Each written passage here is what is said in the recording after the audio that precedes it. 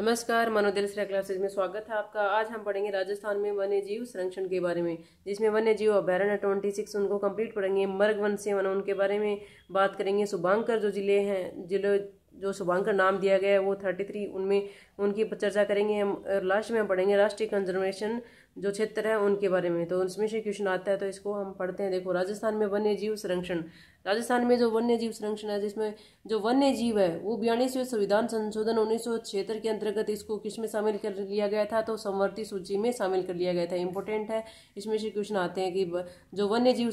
वन्य जीव है वो किस कौन सी जो सूची में आते हैं तो समवर्ती सूची में आते हैं अपने वन्य जीव भारत सरकार द्वारा जो वन्य जीव संरक्षण अधिनियम है वो लागू कर दिया गया था उन्नीस में लेकिन राजस्थान सरकार इसको लागू करती है उन्नीस में एक साल बाद लागू किया गया था भारत में कब लागू किया गया था उन्नीस में और राजस्थान में कब लागू किया गया था उन्नीस में राजस्थान का असम के बाद में वन्य जीव प्राणियों में क्या है दूसरा स्थान है यानी कि सबसे ज़्यादा वन्य जीव प्राणी कहाँ पे असम में पाए जाते हैं उसके बाद में कहाँ पाए जाएंगे अपने राजस्थान में राजस्थान में वन्य जीव संरक्षण 2016 के अनुसार जो सूची है उसको हम पढ़ते हैं देखो वन्य जीव उसमें 2016 की रिपोर्ट के अनुसार राष्ट्रीय उद्यान कितने हैं राजस्थान में तो तीन है वन्य जीव अभ्यारण्य ट्वेंटी सिक्स आखेट निषेध क्षेत्र है थर्टी थ्री ये बहुत बार पूछा गया है कि दो जीव संरक्षण सोलह के अनुसार कितने जो आखिर निषेध क्षेत्र हैं तो कितने हैं राजस्थान में थर्टी थ्री हैं जंतुवाले पाँच हैं और मृग वन कितने हैं सेवन और जैविक उद्यान जैविक उद्यान दो है जिसमें एक प्रथम हम पढ़ रहे हैं नाहरगढ़ नाहरगढ़ कहाँ पे जयपुर में ये क्या राजस्थान का प्रथम जैविक उद्यान है तो राजस्थान का प्रथम जैविक उद्यान है नाहरगढ़ जयपुर इसे 2016 में क्या कर दिया गया जूलॉजिकल पार्क भी घोषित कर दिया गया है तो ये भी राजस्थान का क्या है प्रथम जूलॉजिकल पार्क है तो ये तीनों चीज़ें इसके बारे में इंपॉर्टेंट है आपको याद रखनी है सज्जनगढ़ सज्जनगढ़ उदयपुर में ये दूसरा जैविक पार्क है राजस्थान का दूसरा जैविक क्या है ये उद्यान है उदयपुर सज्जनगढ़ में स्थित है जंतु वाले देखो जंतु वाले पांच है जिनके बारे में हम चर्चा करते हैं जयपुर प्रथम हम पढ़ेंगे जयपुर जंतवालय जयपुर जंतवालय की स्थापना होती है अठारह में यानी अठारह में होगी तो ये क्या है सबसे पुराना सबसे प्राचीनतम कौन सा है जयपुर जंतुवालय उसके बाद में उदयपुर में स्थापना होती है अठारह में उसके बाद में बीकानेर में 1922 में लेकिन ये बीकानेर वाला वर्तमान में जंतुवालय क्या है बंद है जोधपुर में जंतुआलय की स्थापना होती है छत्तीस में और कोटा की आज़ादी के बाद में उन्नीस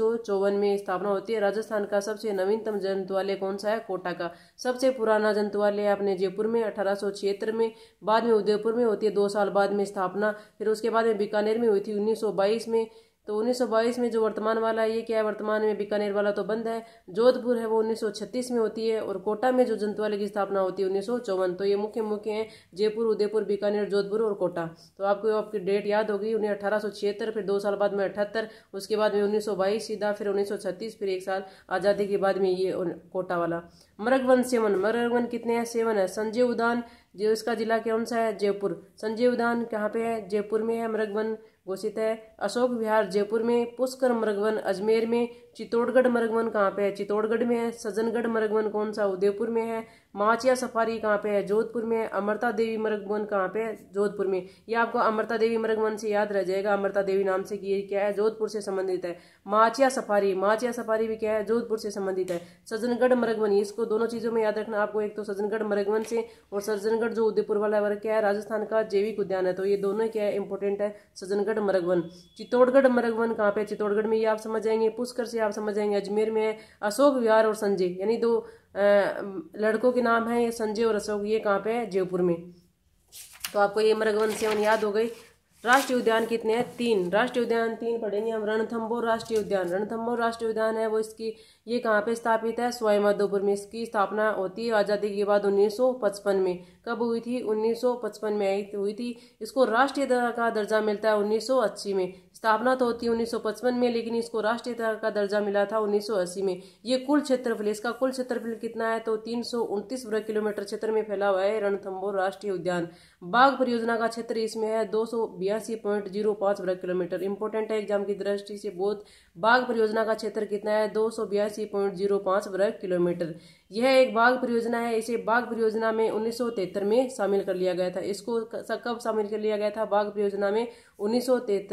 तिहत्तर में लेकिन इसमें एक बात याद रखनी है इसको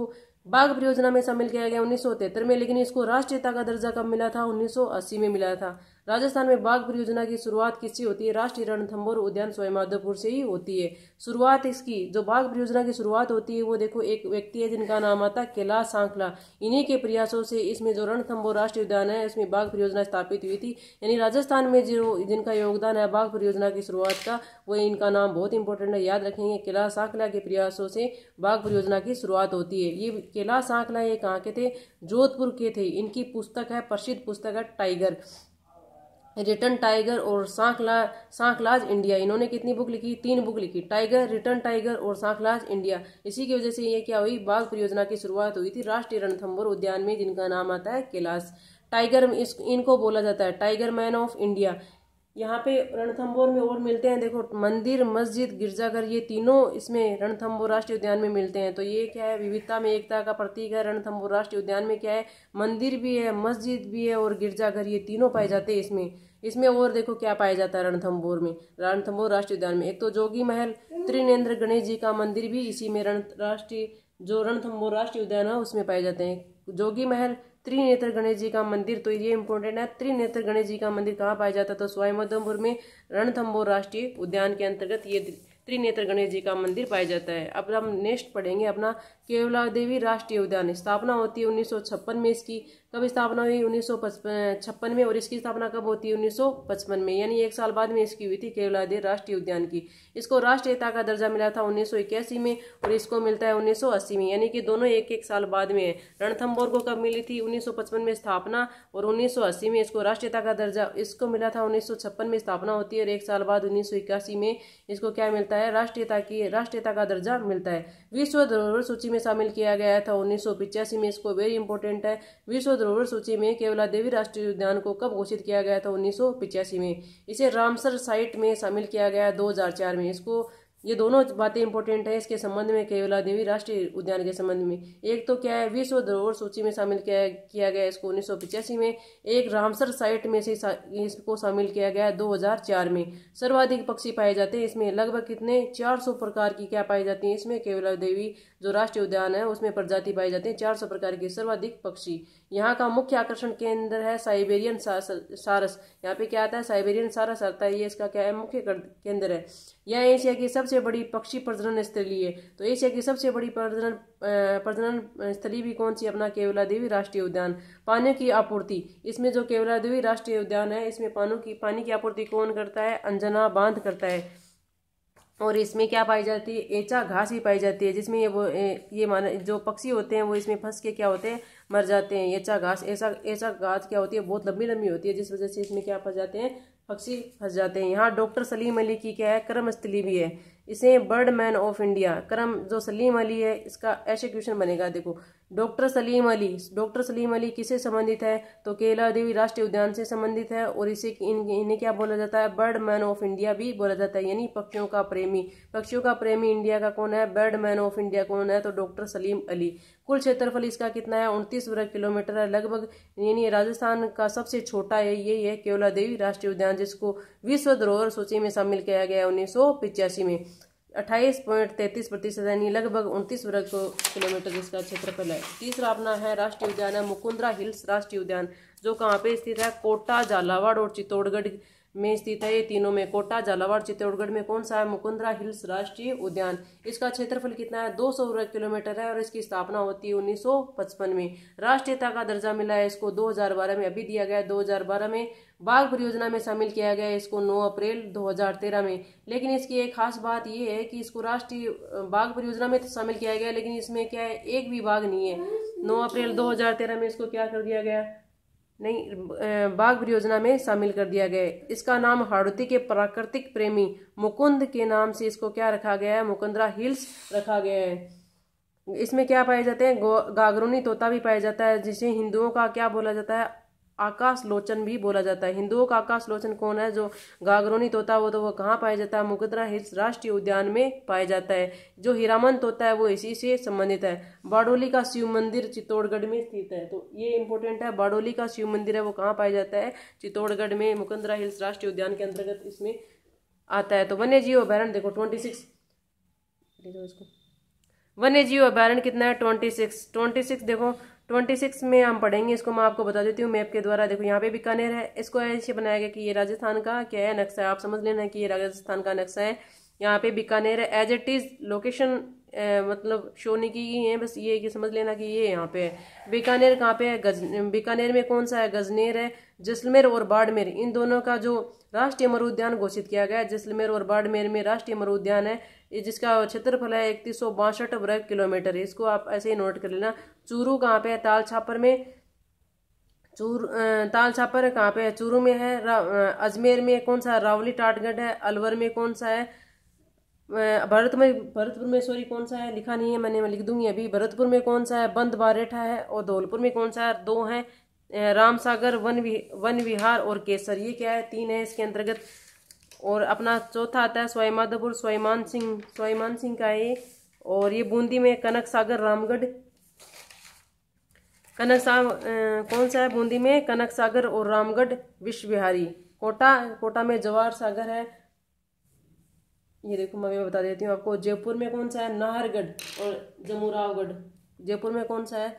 वो सॉरी मैंने लिखा नहीं था नाहर नाहरगढ़ और सेकंड अपना कौन सा आता है वारागढ़ ये क्या है जयपुर के अंतर्गत है अलवर में है एक तो सरीश का आपको पता है सरीश का है सरीश का और दूसरा है सरीश के अभ्यारण दो हैं इसमें सरीश का और सरीश का अभ्यारण अलग अलग नामों से पूछा जाता है लेकिन सरीश का नाम आ जाए तो आप समझ लेना कहाँ पे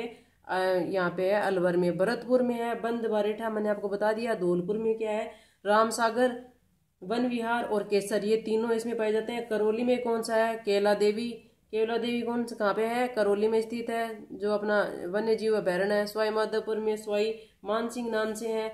बारह में कौन सा है बारह में शेरगढ़ ठीक है बारह में शेरगढ़ वन्य जीव अभ्यारण है बूंदी में है कनक सागर और रामगढ़ विश्वविहारी दोनों कौन से हैं बूंदी में है कोटा में कौन सा है ज्वार सागर है प्रतापगढ़ में सीता माता वन्य जीव अभ्यारण है राजसमंद में कौन सा है कोमलगढ़ है सिरोही में माउंट आबू वन्य जीव अभ्यारण्य उदयपुर में तीन है फुलवारी की नाल सजनगढ़ और जयसमंद वन्य जीव अभ्यारण्य ये कहाँ पाए जाते हैं उदयपुर में पाए जाते हैं अब देखो इनको पढ़ते हैं हम राष्ट्रीय मरु उद्यान जैसलमेर व बाड़मेर में कौन सा राष्ट्रीय मरु उद्यान है स्थापना होती है पचपन में कुल क्षेत्रफल इसका कितना है इकतीस सौ बासठ देखो हमने यहाँ देखा ना जैसलमेर और बीकानेर में राष्ट्रीय मरु उद्यान इसका क्षेत्रफल है इकतीस सौ बासठ जिसमें देखो बीकानेर में कितना है बारह सौ बासठ है और जैसलमेर में कितना है नौ सौ वर्ग किलोमीटर क्षेत्र में फैला है ये क्षेत्रफल की दृष्टि से क्या है सबसे बड़ा है ये राष्ट्रीय उद्यान ओकलवुड फोशल पार्क इसमें इसी में स्थित है ये इंपॉर्टेंट है क्वेश्चन आया हुआ है कि ओकलवुड फोशल पार्क कहाँ पे स्थित है तो राष्ट्रीय उद्यान जैसलमेर और बाड़मेर जीवाश्म अभ्यारण्य बोलते हैं इसको जीवाश्म अभ्यारण क्यों बोलते हैं क्योंकि इसमें क्या है जीवाश्म पाए जाते हैं तो इसको बोलेंगे जीवाश्म अभ्यारण पीवणा सर्प की प्रजाति भी इसी में पाई जाती है चंदन नलकूप स्थित है इसे क्या बोलते हैं चंदन नलकूप को थार का गढ़ा थार का गढ़ा किसे बोलते हैं चंदन नलकूप में और ये चंदन नलकूप कहाँ पाया जाता है राष्ट्रीय मरु उद्यान में गजनेर वन्य जीव अभ्यारण्य कहाँ पे स्थित है बीकानेर में इसे बटबड़ पक्षी भी इसमें कौन सा पक्षी पाया जाता है बटबड़ पक्षी पाया जाता है रेत का ये जो बटबड़ पक्षी है इसको क्या बोलते हैं रेत का तितर भी बोलते हैं इससे संबंधित यही आता है बस कि बटबड़ पक्षी कहाँ पाया जाता है या रेत का तितर पक्षी कौन से अभ्यारण्य में पाया जाता है तो बीकानेर में पाया जाता है अभ्यारण्य अपना गजनेर वन्य जीव अभ्यारण्य ताल छापर वन्य जीव अभ्यारण्य कहाँ पे है चूरू में है इसको ये किसके लिए प्रसिद्ध है काले हिरण के लिए इसको बोलते हैं कृष्ण मरग भी बोलते हैं काला हिरण बोल दो चाहे कृष्ण मरग बोल दो एक ही बात है कहाँ पे स्थित है ताल छापर में इसमें मोथिया गाइस पाई जाती है और कुर्जा पक्षी की शरण स्थली भी कौन सा है ताल छापर है कुर्जा पक्षी जैसे आप सभी वाकिफ हैं कुर्जा पक्षी क्या है कि शरण स्थली है ताल छापर और मोथिया घास मोथिया घास थोड़ी ऐसे ग्रीन डार्क डार्क ग्रीन होती है जिस वजह से इसको क्या बोलते हैं कि हिरण है वो इसको खाते और काले हो जाते हैं ये इन यहाँ के जो रहने वाले लोग हैं इनके बारे में ये बताते हैं लेकिन ऐसा कुछ होता है पता नहीं साइंटिफिक तो नहीं है लेकिन ऐसा बोलते हैं कि मोतिया घास की वजह से ये यहाँ पे क्या पाए जाते हैं काले हिरण पाए जाते हैं सरीस का अलवर देखो सरीस का अलवर की स्थापना होती है उन्नीस में ज़्यादातर की उन्नीस में स्थापना हुई है कुल क्षेत्र कितना है इसका चार सौ वर्ग किलोमीटर क्षेत्रफल कितना है चार सौ बानवे वर्ग किलोमीटर जिनका क्षेत्रफल दे रखा है इसका मतलब वो इम्पोर्टेंट है उनका क्षेत्रफल बाघ परियोजना शामिल बाघ परियोजना में इसको शामिल किया गया उन्नीस सौ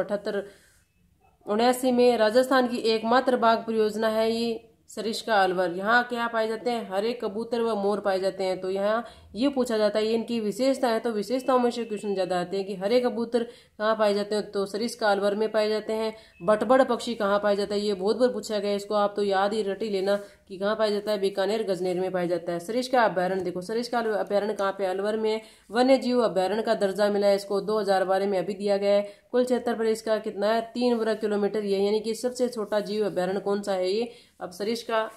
अभ्यारण है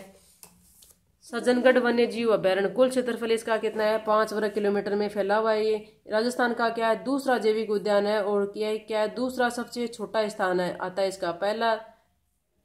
सरेस्का का है दूसरा ये क्या है सज्जनगढ़ का ये पांच वर्ग किलोमीटर वो कितने में था तीन में था राजस्थान का क्या हो गया दूसरा जैविक उद्यान है पहला कहाँ पे जयपुर में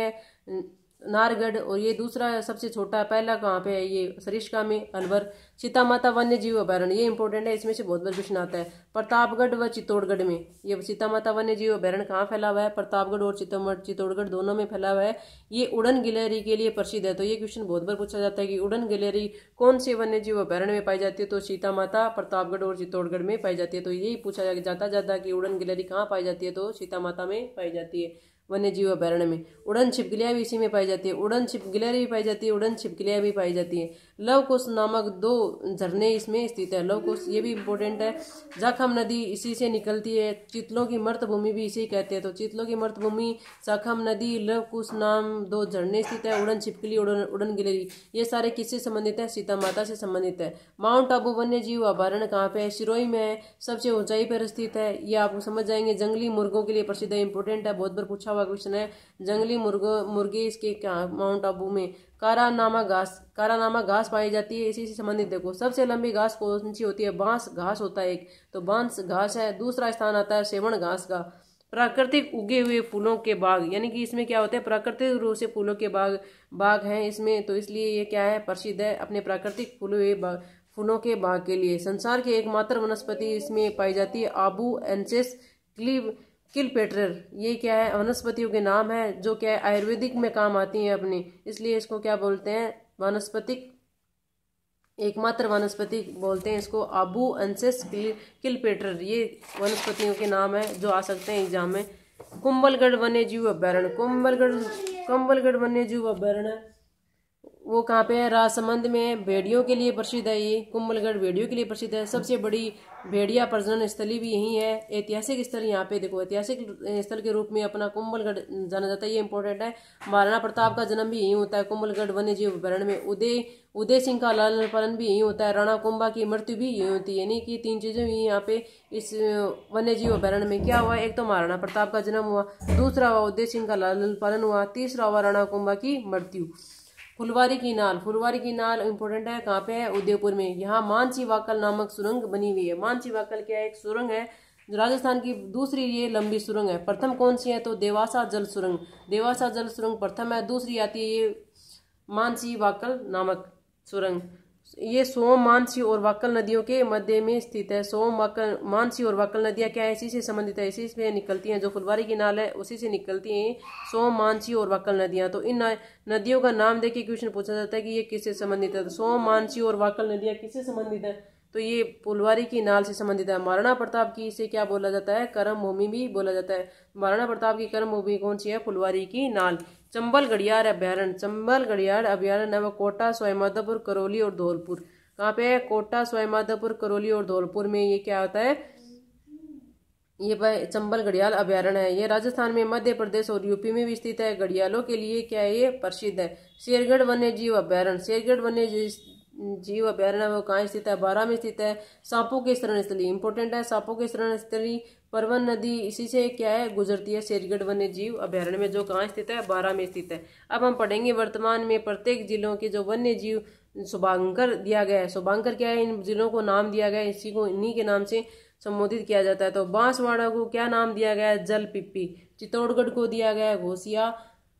कोटा को दिया है बिलाव प्रतापगढ़ को दिया है उड़न गिलहरी भीलवाड़ा को मोर झालावाड़ को गागरोनी तोता बारा को दिया मगर स्वयंमाधोपुर को दिया बाघ करौली को दिया घड़ियाल धौलपुर को दिया पच पचीरा और भरतपुर को दिया है साइबरेन सारस अलवर को दिया सांबर जयपुर को दिया चित्तल सीकर को दिया साहिन झुंझुनू को दिया है काला तीतर और उसके बाद में चूरू चूरू को दिया है कृष्ण मर्ग हनुमानगढ़ को दिया है ये हनुमानगढ़ को दिया है छोटा किल किला क्या नाम है देखो छोटा किला दिया है हनुमानगढ़ को श्री गंगानगर को दिया है चिंकारा और बीकानेर को दिया है बट तीतर जैसलमेर को दिया है गोडावन बाड़मेर को दिया है लोमड़ी जालोर को दिया है भालू सिरोही को दिया है जंगली मुर्गी उदयपुर को दिया है कब्र बज्जू डूंगपुर को दिया जाजिल अजमेर को दिया खरमोर नागौर को दिया राजहंस जोधपुर को दिया कुर्जा पाली को दिया तेंदुआ रासमंद को दिया भेड़िया टोंग को दिया हंस बूंदी को दिया सुरखाव और दोसा को दिया है क्या दिया है खरगोश ये आपने क्या थे सुबांग कर दिए हुए हैं बांसवाड़ा को क्या दिया गया है बांसवाड़ा को जल पीपी का नाम से दिया गया है जल पीपी और ये क्या है चित्तौड़गढ़ को दिया है दोसिंगा क्या दिया गया है दोसिंगा दिया है चित्तौड़गढ़ को दोसिंगा ठीक है अब राजस्थान में संरक्षित क्षेत्र राजस्थान में संरक्षित क्षेत्र जो कंजर्वेशन क्षेत्र है इनमें से क्वेश्चन पूछा जाता है तो इम्पोर्टेंट है इनको भी आपको पढ़ना चाहिए राजस्थान में कुल कितने हैं दस कंजर्वेशन रिजर्व क्षेत्र हैं जिसमें से देखो नाम दिया हुआ है इनकी स्थापना कब हुई है और इनका जिला दिया हुआ है ठीक है Bisalpur conservation reserve Bisalpur reserve conservation reserve है इसकी स्थापना होती है 2008 यानी कि जो कंजर्वेशन रिजर्व क्षेत्र है वो 2008 से शुरू हुई है और 2013 तक ही है बस तो बिशनपुर कंजर्वेशन रिजर्व है 2008 में जिला आता है इसका टोंक जोडबिड जोडबिड है इसकी स्थापना होती है 2008 में और इसका जिला कौन सा है बीकानेर सुंदा माता सुंदा माता जो है उसकी स्थापना जो कंजर्वेशन रिजर्व क्षेत्र है उसका स्थापना होती है 2008 में जा नागो जिला कौन सा है जालोर गुड्डा विश्नोई गुड्डा विश्नोई की स्थापना होती है 2011 में जिला आता अपना जोधपुर साकम्बरी है साकम्बरी की स्थापना होती है 2012 में इसका जिला आता है कौन सा सीकर गांगेलाव गांगेलाव जो कंजर्वेशन रिजर्व है उसकी स्थापना होती है 2012 में उसका जिला है कौन सा है नागौर बीड बीड की स्थापना होती है 2012 में झुंझुनू में रोटू रोटू जो कंजर्वेशन क्षेत्र है वो 2012 में ही है नागौर में उमेदगंज उमेदगंज की स्थापना होती है 2012 में जिला कौन सा आता है कोटा जवाई बांध जवाई बांध ये 2013 है तो 2013 में स्थापना होती है पाली में अब इसमें याद रखने आपको ये है कि गुड्ढा बिश्नोई जो जोधपुर में है वो 2011 में है बाकी 2012 में और जवाई बांध पाली ये 2013 एक तो 2013 और बाकी कितने हैं 2012 में ये सारे सीकर नागौर झुन्नू नागौर कोटा ठीक है ये किसमें कब कर दिए गए थे बारह में इसकी ब्रज दो है ये सुंदा माता और जोटबीट सुंदा माता जोटबीट सुंदा माता जोटबिड किसमें 2008 में बीकानेर और जालोर 2011 में एक ही है गोड्डा बिश्नोई और 2013 में भी एक है जवाई बांध पाली तो वन्य जीव सप्ताह मनाते हैं एक से सात अक्टूबर प्रत्येक प्रत्येक वर्ष लग मनाते हम एक से सात अक्टूबर तक ये वन्य जीव सप्ताह तो इसमें से क्वेश्चन बनता है कि वन्य जीव सप्ताह कब मनाया जाता है तो एक से सात अक्टूबर तक मनाया जाता है ये कंजर्वेशन क्षेत्र आपको याद रखना है इसमें जो शुभांकर जो नाम दिया गया है वो आपको याद रखना है इसमें जो वन जो मर्ग वन है सेवन उनके बारे में आपको याद रखना इंपॉर्टेंट है और जिसमें कौन से जो कौन सी चीज़ पाई जाती है उड़न गिलहरी किस में पाई जाती है सीता माता में इसके बारे में जैसे इनसे जो संबंधित बातें हैं उनसे आपके क्वेश्चन पूछे जाते हैं तो आपको याद रखने योग्य ये बातें हैं महत्वपूर्ण महत्वपूर्ण तो ये राजस्थान में अपना कौन सा था वन्य जीव अभ्यारण्य जिसमें मैंने आपको कंप्लीट पूरा करवा दिया इसमें से ऐसे बार मुझे लगता है कि कोई क्वेश्चन आएगा नहीं तो आप इसको अच्छी तरह से पढ़ाई करें thank you for watching my video